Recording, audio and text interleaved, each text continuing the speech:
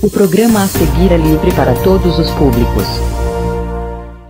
Agro JG, uma produção da JG TV e Mais Brasil Produtora, destacando o agronegócio, parceria, Sicredi, gente que coopera cresce. O dinheiro que você investe no Sicredi é revertido na comunidade. Sindicato Rural de São Cepé, fortalecendo o agronegócio e sempre parceiro do produtor e da produção rural. Beto Ferragens, 19 anos, serralheria, vidros temperados e comunicação visual e prestação de serviço. Loja Casual, a moda do seu jeito. Confecções, calçados e acessórios masculino e feminino. E Cotricel, 62 anos plantando desenvolvimento.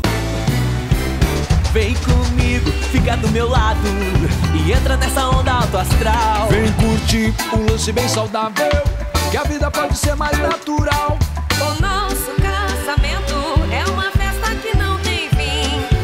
Eu nasci pra você e você nasceu pra mim. Arroz Cepé é soltinho, gostoso e faz bem pra saúde. Quer dar show na sua mesa? Arroz Cepé. Que bom que é. Agro JG, uma produção da JGTV e Mais Brasil Produtora, destacando o agronegócio. Realizada na tarde desta quinta-feira, 30 de janeiro, a Assembleia da Cotricel. Essa Assembleia trata do balanço de 2019.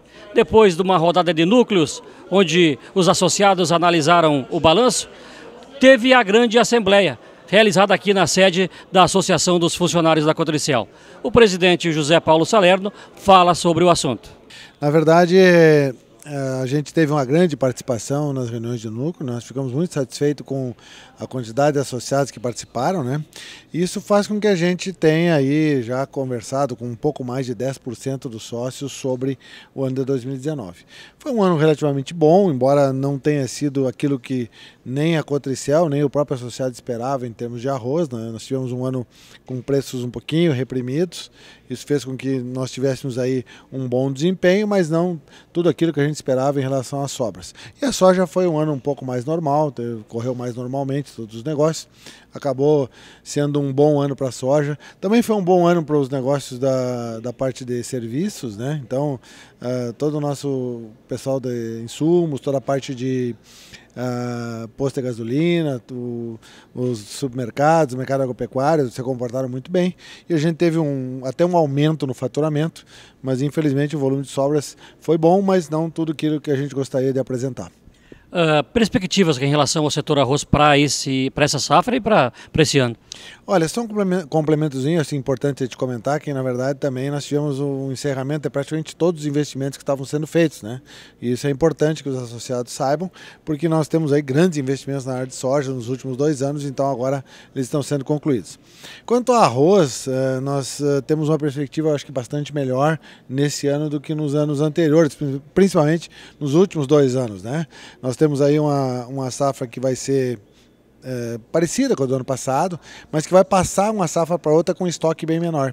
Então a, a expectativa que nós temos, que o produtor tem, que o mercado tem, é que nós tenhamos preços um pouco melhores do que é, no ano de 2019 e isso vai fazer com que rentabilize um pouco o arroz que já vem patinando aí faz dois, três anos. Mas na área de investimentos, o que, que falta para ser inaugurado, o que, que tem planejado? Na verdade, só para fazer a inauguração formal, né? Porque nós estamos com toda, toda, toda essa parte pronta da unidade nova de soja na Vila Nova, uh, terminando, estamos terminando o tombador no formigueiro, a unidade aqui da, da sede uh, com toda a parte do engenho na parte do arroz, que não vai ser formalmente, formalmente inaugurada, mas foi feita toda nova, toda a movimentação de grãos. Ali na industrial, os três silos de soja, que também já estão um já estava funcionando agora, lá em São Pedro, um aumento da capacidade de armazenagem. Então, todos esses, esses, esses investimentos eles já estão prontos. Formalmente, a gente deve inaugurar a Vila Nova, por ser uma obra de maior monta, né? Uh, e de repente, no, no, formigueiro, convidar alguns ali para nós fazer um, um café ali, uma hora para também no tombador. Tombador de formigueiro até não sei se vai dar tempo, porque vai ser muito em cima, vamos ver. Mas na Vila Nova a gente deve, comecinho de março, aí deve inaugurar uh, formalmente lá a unidade nova para 430 mil sacos de soja, com tombador, com silos, com uh, secador, né, que vai agilizar muito lá na vila e também vai uh, deixar aqui mais folgado na sede, que não deve vir produto verde mais para cá. Isso vai ajudar bastante também o fluxo aqui na sede. Essa inauguração da Vila Nova deve fazer parte das comemorações do aniversário do município, né?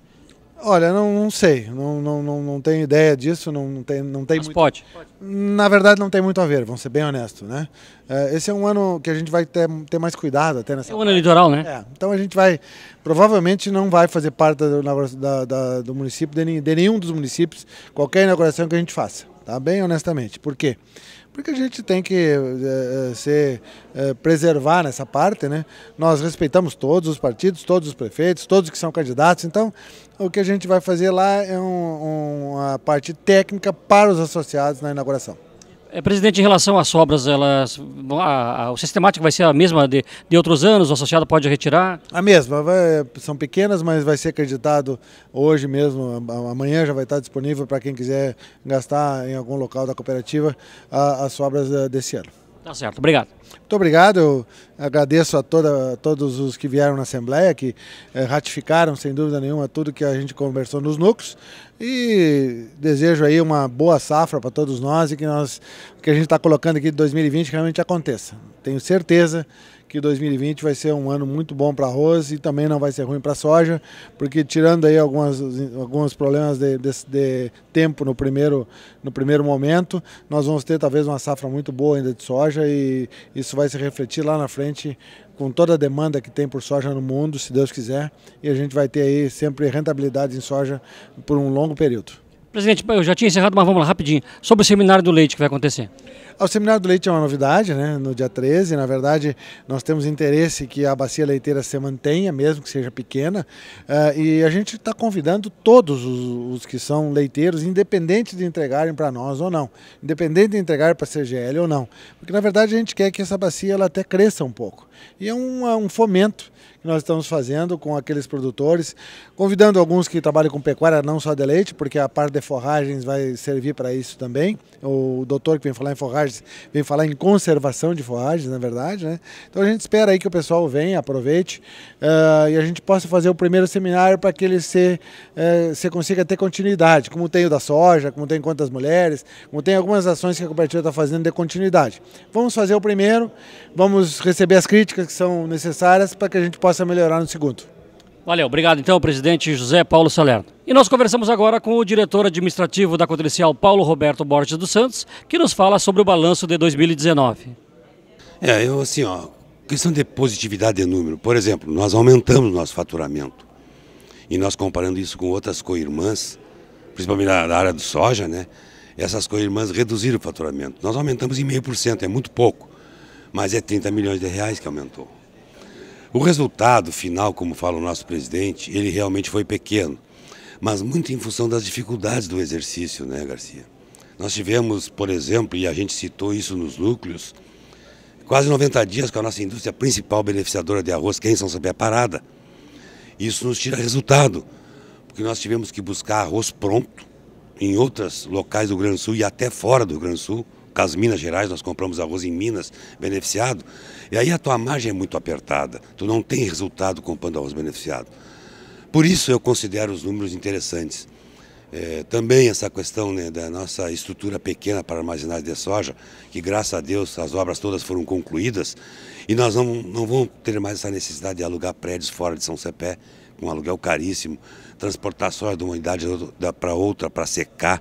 Hoje a gente vai ter estrutura de secagem em Vila Nova do Sul, por exemplo.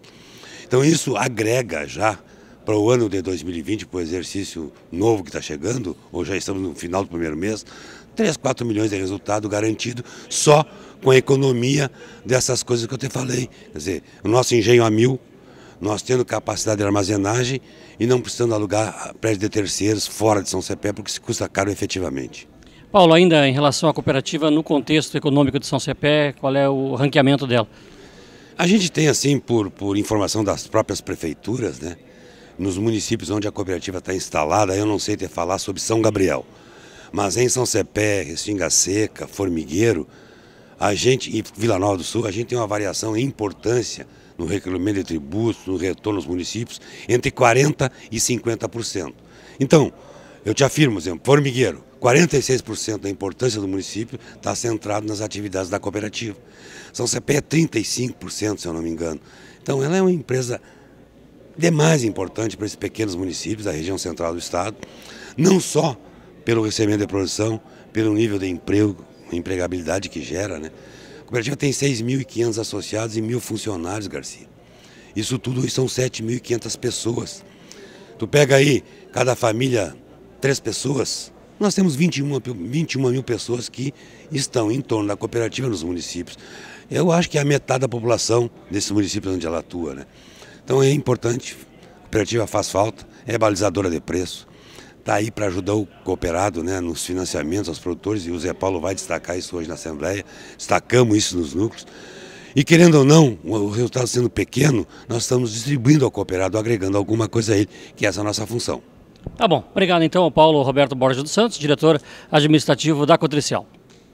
O mundo da internet está evoluindo cada vez mais e a Plugnet faz parte desta evolução. Quer uma internet com um super Wi-Fi, com grande velocidade, qualidade e com planos que cabem no seu bolso? Você encontra na Plugnet Fibra Ótica, agora com novos planos de 10, 50, 100 e 200 mega. Instalação e Wi-Fi grátis, grande cobertura e rede em constante ampliação. Na Plugnet você tem velocidade para realizar sua navegação, fazer downloads de músicas, vídeos e tem mais estabilidade em jogos online, sem limite de uso ou franquia de dados. A velocidade contratada é a velocidade entregue. Plugnet Internet, na rua Antão Faria 1010. Fone 3233 3515 ou 999863660. Fibra ótica Plugnet.